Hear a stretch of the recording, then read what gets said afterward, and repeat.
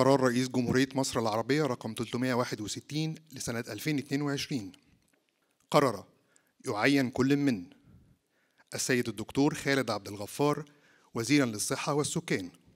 أقسم بالله العظيم أن أحافظ مخلصا على النظام الجمهوري وأن أحترم الدستور والقانون وأن أرعى مصالح الشعب رعاية كاملة وأن أحافظ على استقلال الوطن ووحدة وسلامة أراضيه.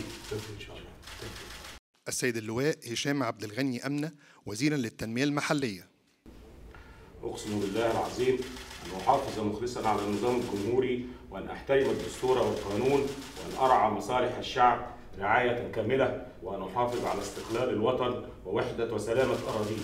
بالتوفيق إن شاء الله. السيد الفريق محمد عباس حلمي وزيرا للطيران المدني أقسم بالله العظيم أن أحافظ مخلصا على النظام الجمهوري وأن أحترم الدستور والقانون وأن أرعى مصالح الشعب رعاية كاملة وأن أحافظ على استقلال الوطن ووحدة وسلامة أراضيه. بالتوفيق إن شاء الله. السيد الدكتور محمد أيمن عاشور وزيرا للتعليم العالي والبحث العلمي أقسم بالله العظيم أن أحافظ مخلصا على النظام الجمهوري وأن أحترم الدستور والقانون وأن أرعى مصالح الشعب رعاية كاملة وأن أحافظ على استقلال الوطن ووحدة وسلامة أراضيه بالتوفيق.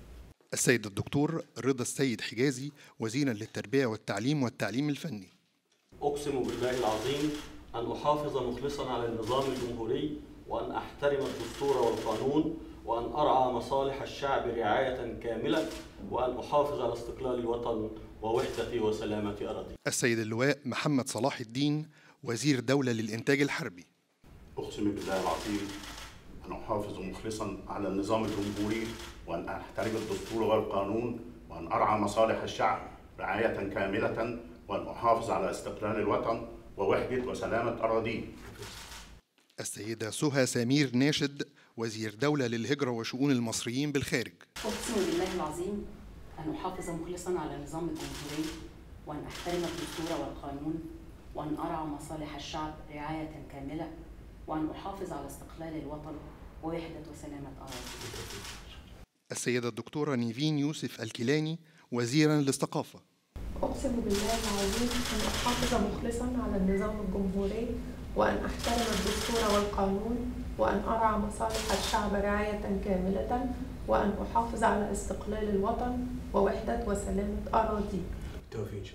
السيد الدكتور هاني عاطف سويلم وزيرا للموارد المائية والري أقسم بالله العظيم أن أحافظ مخلصا على النظام الجمهوري وأن أحترم الدستور والقانون وأن أنعى مصالح الشعب رعاية كاملة وأن أحافظ على استقلال الوطن ووحدة وسلامة أراضيه. بالتوفيق.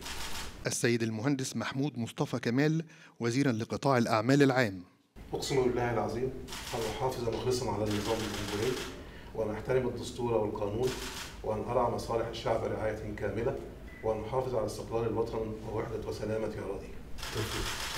السيد المهندس أحمد سمير صالح وزيرا للتجارة والصناعة أقسم بالله العظيم أن أحافظ مخلصا على النظام الجمهوري وأن أحترم الدستور والقانون وأن أرعى مصالح الشعب رعاية كاملة وأن أحافظ على استقلال الوطن ووحدة وسلامة أراضيه.